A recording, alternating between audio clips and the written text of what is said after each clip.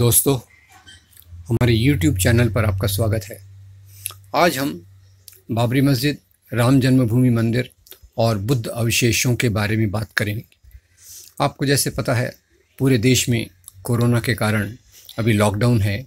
सब उत्पादन की एक्टिविटीज़ उत्पादन की गतिविधियाँ और निर्माण की गतिविधियाँ स्थगित हैं। पर एक काम चालू है, वो है अयोध्या में राम मंदिर का निर्माण। 11 मई से इस काम को शुरू किया गया। और इसके लिए जो ज़मीन को समतल करने के लिए तैयारी चल रही है, उसमें कई अवशेष फिर से मिले हैं। और विश्व हिंदू परिषद के एक प्रवक्ता ने दावा किया कि अवशेष फिर से सिद्ध करते हैं कि वहाँ राम मंदिर था। इस अवशेष में उन्होंने कहा है कि एक शिवलिंग है, दूसरी मूर्तियाँ हैं कुछ फूलों से फूलों के चित्र हैं, जो पत्थरों पे बने हुए हैं, और एक कलश है। इसके कारण उन्हें लगता है, उन्होंने दावा किया कि यहाँ पहले राम मंदिर था। खैर, आपको याद दिला दूँ, इसमें बहुत लंबे कोर्ट केसेस हो चुके हैं। आर्कियोलॉजी, जो पुरातत्व विज्ञान है, उसके आधार पे भी कई खुदाइयाँ भी हुई, और उसमें बहुत सारे पुरातत्ववेत्ताओं के अलग अलग राय रही। उसमें एक के के मोहम्मद थे जिन्होंने कहा कि यहाँ पहले राम मंदिर या राम मंदिर तो नहीं उन्होंने कहा पहले यहाँ एक मंदिर के अवशेष मिले। पूर्ण कलश कहते हैं।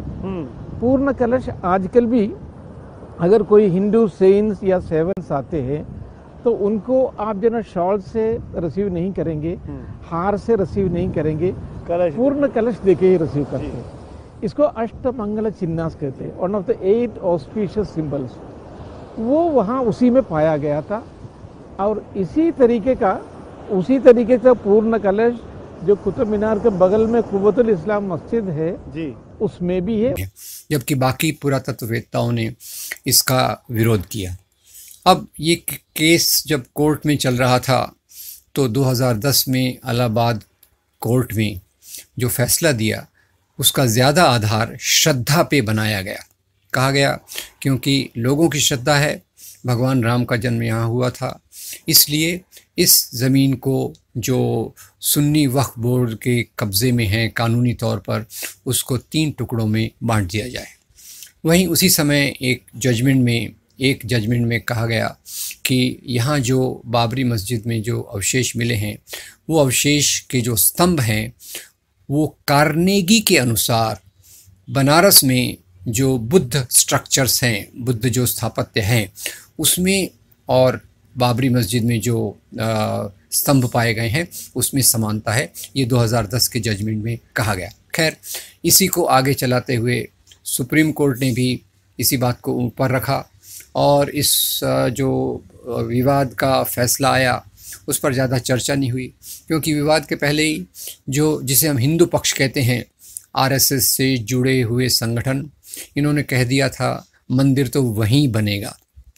जबकि मुस्लिम जो इसमें तत्व थे, मुस्लिम साइड जो थी, उन्होंने कहा था कि सुप्रीम कोर्ट जो फैसला देगा, हम उसे स्वीकार करेंगे। खैर 2010 वाला जो मामला था अलाहाबाद हाई कोर्ट का कि आस्था को आधार बना के फैसला किया गया कोर्ट उसी को आगे ले चला और उसने पूरी पूरी की पूरी ज़मीन पूरी की पूरी ज़मीन ये पूरी की पूरी ज़मीन ये आ, मंदिर के लिए दे दी और उसके बाद मुस्लिम साइड को एक दूसरी जगह पर पाँच एकड़ ज़मीन दी गई। खैर अब यहाँ जब खुदाई चालू हुई तो उसकी जो फ़ोटो आए हैं तो विश्व हिंदू परिषद और बाकी लोग दावा कर रहे हैं कि ये राम मंदिर के अवशेष हैं। जबकि उनके फ़ोटोज़ को देखने के बाद बहुत सारे बुद्धिस्ट ग्रुप्स ने ये दावा किया है कि फ़ोटोज़ के अनुसार जो उसमें दिखा है, वो शिवलिंग नहीं, वो बुद्ध स्तूप है। और इस पर जो नक्काशी है, वो अजंता एलोरा से मिलती है। यानी बहुत सारे बुद्ध ग्रुप अभी सुप्रीम कोर्ट को और बाकी जगह पर जाकर अपनी बात रखने वाले हैं कि यहाँ बुद्ध के अवशेष मिले हैं और यहाँ पहले आ, ऐसी एक स्थापत्य चीज़ रही होगी जो बुद्ध धर्म से जुड़ी हुई है। खैर अब ये इस आ, का एक पहलू है। वैसे देखा जाए तो पहले अयोध्या को साकेत कहा जाता था जो बुद्ध संस्कृति का बुद्ध साम्राज्य का एक बहुत बड़ा केंद्र माना जाता था। और थोड़ा सा अगर इसमें कह कह दिया जाए तो जो मुद्दे को हम चर्चा नहीं की 2018 में भी कई बुद्धिस्ट ग्रुप्स ने इस बात को उठाया। अब ये अवशेष मिलने के बाद क्या होता है, ये देखा जाए, जाना चाहिए, ये आगे हम देखेंगे। पर फिर भी एक बात निश्चित है कि जो बुद्धिस्ट ग्रुप कह रहे हैं, उसकी, उसका आधार, जो बुद्धिस्ट ग्रुप कह रहे हैं, उसका आधार डॉक्टर अंबेडकर के विचारों में मिलता है। डॉक्टर अंबेडकर अपनी रचना revolution and counter revolution in ancient India में लिखते हैं कि भारत में पहले एक क्रांति हुई। क्रांति यानी बुद्ध धर्म का आना। बुद्ध धर्म का आना जो अहिंसा और प्रेम, शांति, समता पर आधारित था। और उसके खिलाफ जो प्रतिक्रांति हुई, वो ब्राह्मणवाद के रूप में हुई। यहाँ इतिहास की दो प्रकार की समझ मैं आपके सामने रखना चाहूँगा। एक है, डॉक्टर अंबेडकर द्वारा रखी गई कि भारत का इतिहास मूल रूप से ब्राह्मणवाद और बौद्ध धर्म के बीच में संघर्ष का इतिहास रहा है। जबकि सांप्रदायिक तरीका जो यहाँ अंग्रेज़ों ने इंट्रोड्यूस किया और बाद में सांप्रदायिक ताकतों ने उसको उठा के लिया, उन्होंने कहा कि यहाँ का मूल मूल अंतर विरोध हिंदू और मुसलमानों के बीच में रहा तो खैर, ये इतिहास को देखने के दो तरीके हैं। तो ये जो बुद्धिस्ट ग्रुप आज जो दावा कर रहे हैं कि ये जो इसमें चीज़ें मिल रही हैं, स्थापत्य की चीज़ें मिल रही हैं, उसमें बुद्ध का अवशेष है तो इसके लिए वो ये मांग कर रहे हैं कि यूनेस्को के सुपरविज़न में यहाँ खुदाई हो और जो बुद्ध अगर जगह है तो उनको भी उनका अधिकार मिलना चाहिए। खैर, यहाँ तो खैर मंदिर मस्जिद का एक तरफ़ विवाद रहा, अब दूसरा ये इसके पहले यहाँ बुद्ध स्ट्रक्चर्स थे, ये बात सामने आ रही है। हमारे इतिहास को ऐसा बताया गया कि जैसे यहाँ भी बुद्ध संस्कृति के जो केंद्र थे, उनको मुसलमान राजाओं ने आकर तोड़ा और लूटा। इसमें एक चीज़ छुपाई जा रही है कि प्रतिक्रांति के दौरान वैचारिक तौर पर मनुस्मृति ने, शंकराचार्य ने इसका वैचारिक विरोध किया और शारीरिक रूप से, फ़िज़िकल तरीके से पुष्यमित्र शुंग, शशांक और बहुत सारे ब्राह्मणवादी राजाओं ने कई बुद्ध स्ट्रक्चर्स को तुड़वाया और हज़ारों ऐसे बुद्ध विहार को उन्होंने तुड़वाया और कई हज़ारों लाखों बुद्ध भिक्खुओं की भी हत्या की गई। तो ये बात हमारे इतिहास का एक चैप्टर याद रखने की ज़रूरत है कि पहले जो बुद्ध संस्कृति के स्थान थे, डॉक्टर अंबेडकर के अनुसार उन पर जो हमला हुआ, वो ब्राह्मणवादी राजाओं द्वारा हुआ। बाद में जो कुछ मुसलमान लुटेरे आए, उन्होंने इसको लूटा। तो इसमें पूरा पूरा ये कहना बख्तियार खिलजी और बाकी प्रकार के लोग, इन्हीं के कारण बुद्ध विहारों को तोड़ा गया, वो गलत है। पहले ब्राह्मणवादी प्रक्रिया के कारण इनको तोड़ा गया, बाद में इस प्रकार के मुस्लिम लुटोरों ने आकर उस पर अपना कब्ज़ा जमाया, वहाँ लूटपाट की। ये बात क्लियर है कि मुसलमान राजाओं में, मुसलमान ऐसे ग्रुप्स में कई थे जो लूटपाट के लिए भी आए थे और उनका मुख्य उद्देश्य मंदिरों को तोड़ने के पीछे था। संपत्ति को प्राप्त करना या सत्ता के विस्तार के लिए करना।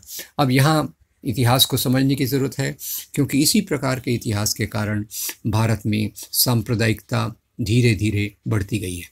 तो हमें डॉक्टर अंबेडकर की बात को याद रखते हुए ये बात का ख्याल रखना चाहिए कि यूनेस्को के तत्वाधान में पुरातत्व विभाग इसकी गहराई से छानबीन करे कि यहाँ जो बुद्ध विहार थे, जो बुद्ध बुद्ध इस संस्कृति से जुड़े हुए अवशेष मिल रहे हैं, उनके पीछे की सच्चाई क्या है? और खैर, जब हम मंदिर मस्जिद तोड़ने की बात करते हैं तो एक और बात भी दिमाग में आती है कि भारत जब आज़ाद हुआ तो आज़ादी के बाद सोमनाथ मंदिर का सवाल आया। सोमनाथ मंदिर के सवाल में कई लोगों ने मांग की कि यहाँ सरकार द्वारा मंदिर का पुनरुत्थान किया जाना चाहिए क्योंकि उनके अनुसार विदेशी आक्रमकों ने इस मंदिर को तोड़ा लूटा। इसलिए सरकार ने इसकी पुनर् पुनर इसकी आ, इसको पुनरुद्धार करना चाहिए। सरकार ने इसका पुनरुद्धार करना चाहिए ऐसा मांग रखी गई। पर उस समय उस बीसवीं सदी के महानतम हिंदुओं में से एक महात्मा गांधी ने कहा ये मंदिर मस्जिद चर्च बनाना सरकार का काम नहीं है। और जहाँ तक सोमनाथ मंदिर का सवाल है, हिंदू समाज सशक्त है, सक्षम है कि वो अपना मंदिर खुद बना सके। इसी बात को आगे ले जाकर पंडित जवाहरलाल नेहरू ने इस देश में इंडस्ट्रीज़ उद्योग धंधे सिंचाई की व्यवस्था, बाँध और शिक्षा स्थलों का निर्माण किया और उन्होंने कहा कि ये ये आधुनिक भारत के मंदिर हैं। तो समय की विडंबना देखिए, जब भारत की शुरुआत होती है तो इंडस्ट्री सिंचाई के साधन, बाँध और शिक्षा को मंदिर के रूप में सरकार महत्व देती है। और जो पूजा के स्थान हैं, वो समाज के ऊपर छोड़ देती है। आज मामला उल्टा हो गया है, आज मामला उल्टा हो गया है और जो शासक पार्टी है, वो अभी इस मंदिर के निर्माण में लगी है और ये भी दावा कर रही है कि इतना भव्य मंदिर बनाएँगे कि आकाश को चूमेगा। तो एक तरफ़ इस प्रकार के मंदिरों को महत्व दिया जा रहा है और जहाँ तक समाज में शिक्षा, स्वास्थ्य का सवाल है, उसको निजी हाथों में सौंप कर ऐसा कुछ किया जा रहा है कि जिससे आम जनता को ज़्यादा समर्थन नहीं मिलेगा। तो मैं उम्मीद करता हूँ कि हमारी राजनीति वापस में लोगों के रोटी, कपड़ा, मकान, बिजली, सड़क, पानी, शिक्षा, स्वास्थ्य, नौकरी और मानव अधिकारों पर आए। जहाँ तक हमारी आस्था का सवाल है, समाज उसके लिए काम करे और जहाँ तक अयोध्या का सवाल है, साकेत का सवाल है, इसमें बुद्ध विरासत को ज़िंदा रखना भी ज़रूरी है और सच्चाई के साथ समाज में चलने की ज़रूरत है। आपका बहुत धन्यवाद। अगर आपको ये वीडियो अच्छा लगा तो इसको फॉरवर्ड कीजिए, हमारे चैनल को सब्सक्राइब कीजिए और नोटिफिकेशन के लिए बेल बटन को ज़रूर दबाइए। Thank you very much